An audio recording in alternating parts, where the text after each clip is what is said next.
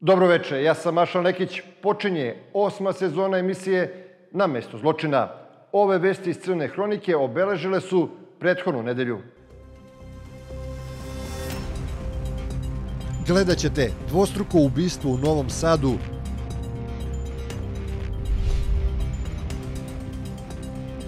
Ranjen mladić Nadi Ciganliji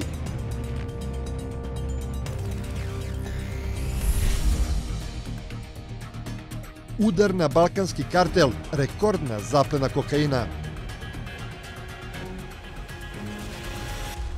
U pucnjevi koja se pre nekoliko dana dogodila u Futogu, nažalost nastradala su dvojica mladića od 19 i 20 godina. Za njihovu smrt osumnjičena su četvorica muškaraca.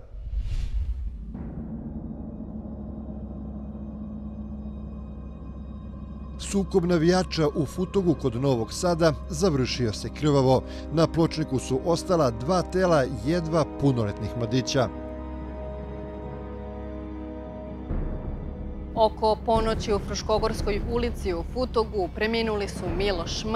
i Nikola Š. koji imaju 19 i 20 godina nakon što su se čuli pucnji u ovoj ulici u Futogu. Tamo na oko pola jedan, tri pucnja kako spoza sam se pogledao. Razumete kad tu veća bila milicija, hitna pomoć i sve to. Dok sam ja pogledao, izašao pola četiri, tu je sin bio i, i čerka i zet. Zet je video od ozgo sa terasa i sve šta se desilo, ali ja ne znam šta što oni ne izađu. Oni najbolje znaju jer oni imaju tu kameru. Tako da to kamera sve snimila. Što se tiče napadača, odmah posle zločina su pobegli sa lica mesta u nepoznatom pravcu, a policija je odmah krenula u potragu za njima. Posle nekoliko sati intenzivne policijske potrage, lisice na ruke stavljene su četvorici mladića. Jedan od njih sumnjiči se kao direktni izvršilac zločina. Trojica osumnjičenih su od ranije poznati policiji po nasilničkom ponašanju, dok jedino DD nije imao kriminalni dosije. NL se osim za teško ubistvo tereti i za ilegalno oružje. Prema nezvaničnim podacima, ubica je priznao zločin i pokazao je policiji gde je bacio oružje.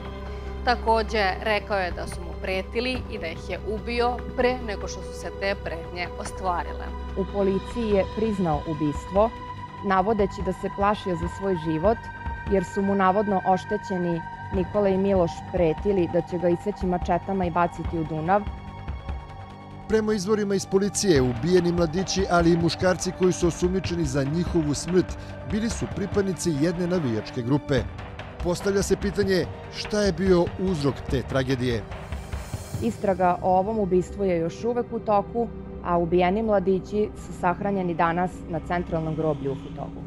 Članovi jedne navijačke grupe oprostili su se od ubijenih mladića na društvenim mrežama.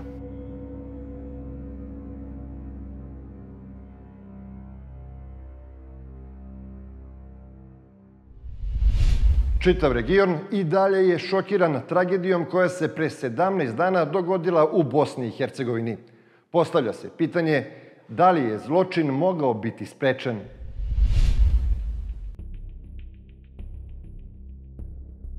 U Gradačcu, gradu na severu Bosne i Hercegovine, 11. avgusta dogodio se stravičan zločin koji je potresao čitav region. Počinjeno je trostruko ubistvo i još tri osobe su ranjene. Izveštavali smo o brutalnom zločinu koji se dogodio u Bosni, u Gradačcu, kada je Nermin Sulejmanović e, uživo na Instagramu, zapravo je uživo emitovao e, jezivo, jezivo ubistvo nevenčane supruge Nizame Hićimović. Ubistvo se, kao što su i svi mogli da vide putem Instagrama, dogodilo na očigled njegove devetomesečne bebe koja je ležala u lokvi krvi. Pomahnitali muškarac se tu, nažalost, nije zaustavio. Išao je zapravo da ubija sve one koji su mu se u nekom trenutku zamerili. Pa je tako ubio komšije, pretpostavljam, sa kojima je bio u nekom nesporazumu, u nekom sukobu.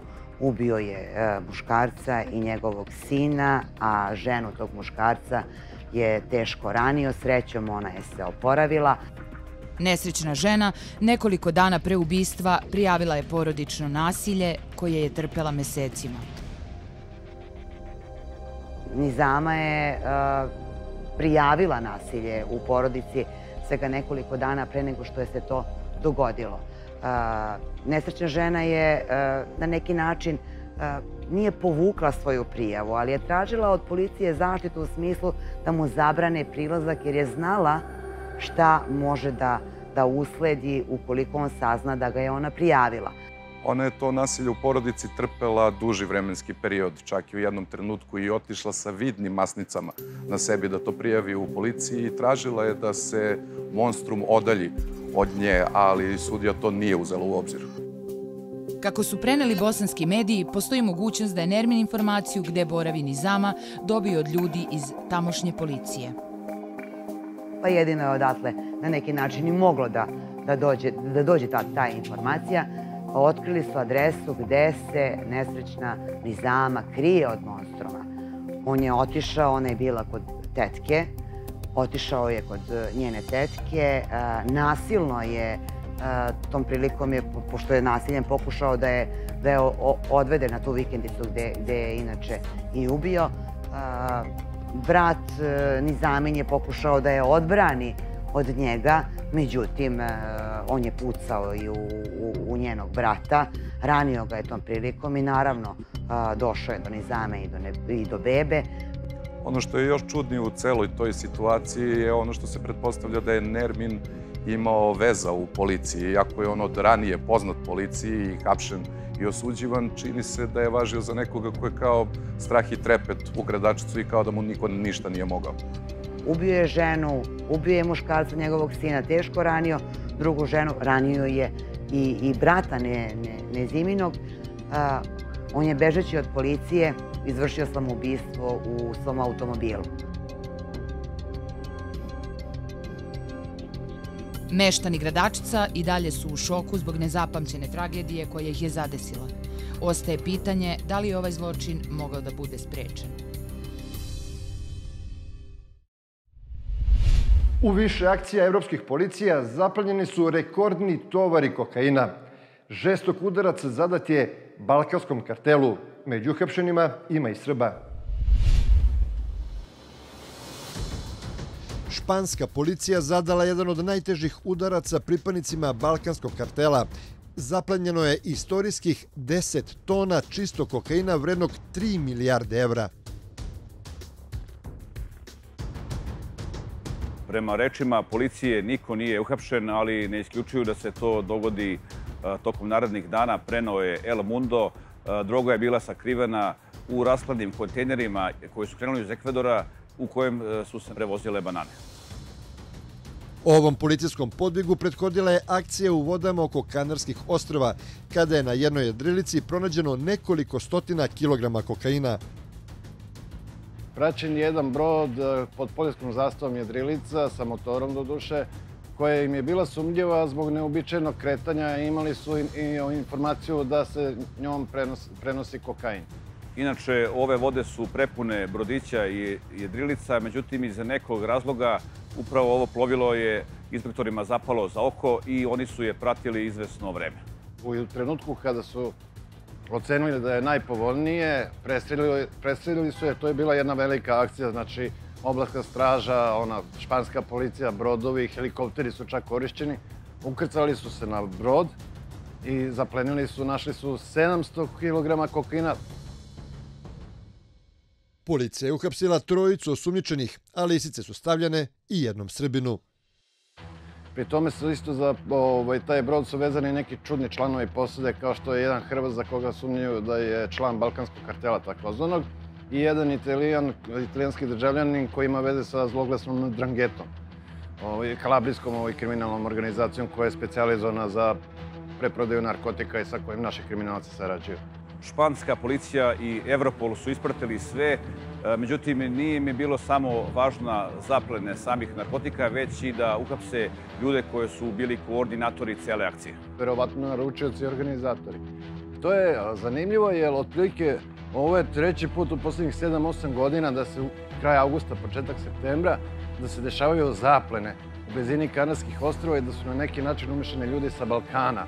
Znači, balkanski kartel, pošto oni ne prave tu finu razliku ko je Hrvat, ko je Srbin, ko je Crnogorac, ko je Bošnjak, oni hapse sve to i zovu balkanski kartel. Poslednjih nekoliko godina u vodama Kanarskih ostrava pronađeno je više tovara narkotika koji se prevozio iz Južne Amerike ka Evropi. Za nas je zanimljivo i to što su 2019. godine upravo u tim Kanarskim ostrovima zaplenjene cigle kokaina sa likom Gavrila Principa. Praktično su na neki način i emotivno ta Kanarska ostrova vezana za naše kriminalce jer je reč o teritoriji pod patronatom Evropske unije, iako se nalazi samo nekoliko stotina metara od Sahare, tačnije od države Zapadna Sahara. I to je jedno turističko mesto, poznato mesto, mislim, arhipelag od 12 ostrava, gde su naravno ovi naši kriminalci svojih prostora, znači balkanski kartel imao uporište. I to im je omiljeno mesto da, da odatle distribu, distribuiraju drogu dalje. Znači, preparčaju i onda šalju gde treba, kome treba. I pretpostavlja se da je tu isto naša ekipa koja je specializovana za, za prenos kokaina. Znači, oni ne kupuju, oni ne prodaju, oni je samo prevoze. Pored ove dve zaplene u Atlantskom okeanu presetnuta je jedrilica Okeanija DOS, na koje je bilo dve tone kokaina. Ovo je pilog zajedničkog rada srpske policije, BIE i Europola. A tim povodom u Beogradu su uhapšena četiri muškarca. Pucnjava na Adi Ciganliji kao i teške saobraćajne nesreće, između ostalog vesti su iz Crne hronike koje su obeležile prethodnu nedelju.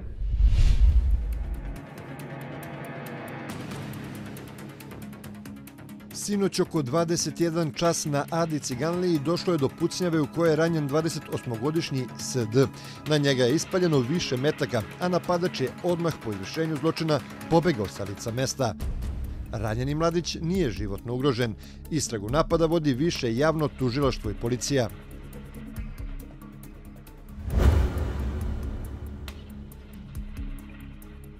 Teška saobraćajna nesreća dogodila se juče oko 8 sati ujutru na magistralnom putu Užice-Zlatibor. Na licu mesta život su izgubile dve osobe, 65-godišnji Dragoslav S. i njegova supruga, 66-godišnja Zorica S. Dve devojčice od 9 i 11 godina koje su bile sa njima u automobilu prebačene su u Užičku bolnicu, gde je jedna od zadobijenih povreda preminula. Druga devojčica je životno ugrožena reanimacija je započeta kod obe devojčice. Nažalost, kod jedne nismo uspeli da povratimo vitalne parametre. Druga devojčica je izdijagnostikovana sa teškim telesnim povredama glave, vrata, grudnog koša i trbuha. S obzirom da se radilo o akutnom krvarenju u trbuhu, posljedna indikacija za hitnim operativnim lečenjem, tako da je povreda u grudnom košu i trbuhu zbrinuta u našoj bolnici, a po stabilizaciji opšteg stanja je pacijentkinja upućena na dalje lečenje na neurohirurgiju u urgentni centar u Beogradu. 46-godišnji Stefan D. poginuo je juče u saobraćenoj nesreći koja se dogodila na putu Jablanica-Stublo, u blizini skretanja za Tornik. Nakon što je sleteo sa puta, nesrećni muškarac poginuo je na licu mesta.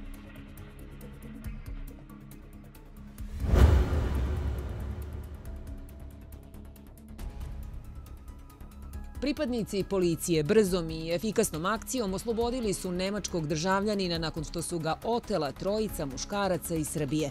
Oni su prevarom, zalepivši natpis policija na autu, napravili sa čekušu za Nemca, gde su ga navodno legitimisali, a potom i ubacili u vozilo. Njegovoj devojci su tražili novac za otkup, a ona je slučaj odmah prijavila policiji koja je ubrzo locirala i uhapsila otmičare na naplatnoj stanici Šid. Reč je o 58-godišnjem Nebojši V, njegovom sinu 34-godišnjem Žarku i 58-godišnjem Jovici M. Oni su privedeni u više javno tužilaštvo gde su se branili ćutanjem. Oteti Nemac pronađen je nepovređen u gepeku automobila, a za njim je bila raspisana poternica zbog bekstva i zatvora.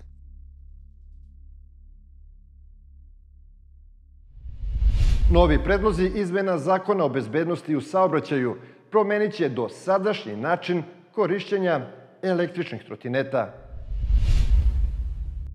Kacige, fluorescentni prsluci, obavezna tehnička dokumentacija i vožnja biciklističkom stazom samo su neki od predloga izmene zakona o bezbednosti saobraćaja, a tiču se električnih trotineta. Zakon će pre svega prepoznati pojam lakog električnog vozila, pod čime se pre svega podrazumevaju električni trotineti, koji do sada u zakonu nisu ni postojali. Biće dakle definisano šta jeste lako električno vozilo i a, biće određeno kuda ta vozila smeju da se kreću, na koji način i ko sme da upravlja tim vozilom. Donja granica u starostnom smislu biće 14 godina, a, s tim što do navršene 18. godine a, neće smeti da se voze trotineti na kolovozu ukoliko je ograničenje veće od 30 km na čas. Međutim, ono što je tu po meni sporno je način kako je to regulisano. Naime, kad se pojavi neko novo vozilo koje učestvuje u novom nekom saobraćenom sistemu, vi morate aspekte tog vozila i tog vozača da sagledate iz jednog ugla to je bezbednost saobraćaja, drugi ugao je javno zdravlje, uticaj toga na privredu i na ekonomiju i na sam saobraćajni ekosistem. Kako je vožnja biciklističkom stazom obavezna, postavlja se pitanje da li njih ima dovoljno u Srbiji. Svakako da je najbolje rešenje da se i biciklisti i trotinetisti kreću bici stazama, kojih, nažalost, u Beogradu i Srbiji nema u dovoljnom broju. Mi u Srbiji nemamo biciklističku infrastrukturu. Znači imate da Novi Sad ima nekih 100 km biciklističkih staza, da Beograd ima nekih 100 km biciklističkih staza i pojedini gradovi u Srbiji imaju između 10 do 25 km biciklističkih staza. To je zapravo, gledajući teritoriju Republike Srbije, ništa. Ali upravo je to još jedan dodatni razlog da se njihov broj poveća. Dakle, što je veći broj korisnika biciklističkih staza, to je veća potreba da se one izgrađuju, tako da ta odredba koja električna vozila, laka električna vozila postavlja na biciklističke staze, dakle, jeste još jedan argument za da se poveća broj biciklističkih staza. Nove izmene upozoravaju pojedini stručnjaci mogu dovesti i do smanjene upotrebe električnih trotineta. Da ja tu vidim da je došlo do destimulacije upotrebe električnih trotineta, što lica od 14 do 18 godina starosti tu gde ne postoji biciklistička infrastruktura, mogu da se kreću kolovozom u širini 1 metar od desne ivice, ali samo u ulicama gde je brzina ograničena do 30 km na čas. A u Srbiji zone 30 i opće taj novi vid tehničkog regulisanja saobraćaja zapravo ne postoji. Ono što se nameće kao nešto što destimuliše je obavezna nalepnica Agencije za bezbednost saobraćaja, nešto slično registracijonoj nalepnici za motorna vozila, gde toj nalepnici mora da piše masa vozila, koliko ima kilovati, koja je konstruktivna brzina. Ipak, usvajanjem izmena Srbija bi postala primamljivo tržište za kompanije koje se bave iznemljivanjem električnih trotineta svim većim gradovima Evrope i sveta najveći broj trotinetista zapravo nisu oni koji voze svoje trotinete, već takozvane deljene, odnosno rentirane trotinete. Šta je to? To je servis koji podrazumuje da imate veliki broj trotineta po gradu koji se slobodno koriste, odnosno koji se koriste tako što putem aplikacije na telefonu vidite gde je prvi slobodan trotinet, kada ga pronađete, otključate ga uz pomoć koda na mobilnom telefonu, platite njegovo korišćenje pomoć, uz pomoć mobilnog telefona i kada završite vožnju, vi ostavljate taj trotinet na odredištu, a onda će ga uzeti neko drugi. s obzirom da, da će to svakako omasoviti dodatno broj trotinetista, ja očekujem da će se usvajanjem e, zakona, odnosno uspostavljanjem pravnog okvira, stvoriti uslovi za dolazak kompanija koje se bave tim deljenjem trotineta i da će se njihov broj značajno povećati. Udruženje Sigurne staze kreiralo je aplikaciju za bicikliste Bici Bor, prvu internet platformu posvećenu biciklistima u Srbiji. Mi smo na primjeru grada Bora, u kome živimo, dali saobraćeni model kako jedan grad treba da izgleda i kako treba da bude prilagođen ranjivim učesnicima u saobraćaju. Gde treba da bude zona usporenog saobraćaja, gde može da bude biciklistička staza, gde biciklistička traka, koje probleme su u zoni školama, da li smo model kako da se projektuju sigurne rute, da deca od svojih kuća bezbedno dolaze do škole i tako dalje. I taj model koji smo razvili na primjernu grada Bora zapravo je primenjiv na bilo koji grad i opštinu na teritoriji Republike Srbije. Nove odredbe zakona naći će se pred poslanicima Narodne skupštine tokom jesenjeg zasedanja. Za sedam dana ponovo gledajte emisiju Na mestu zločina. Ja sam Mašan Lekić, ostanite uz prvu.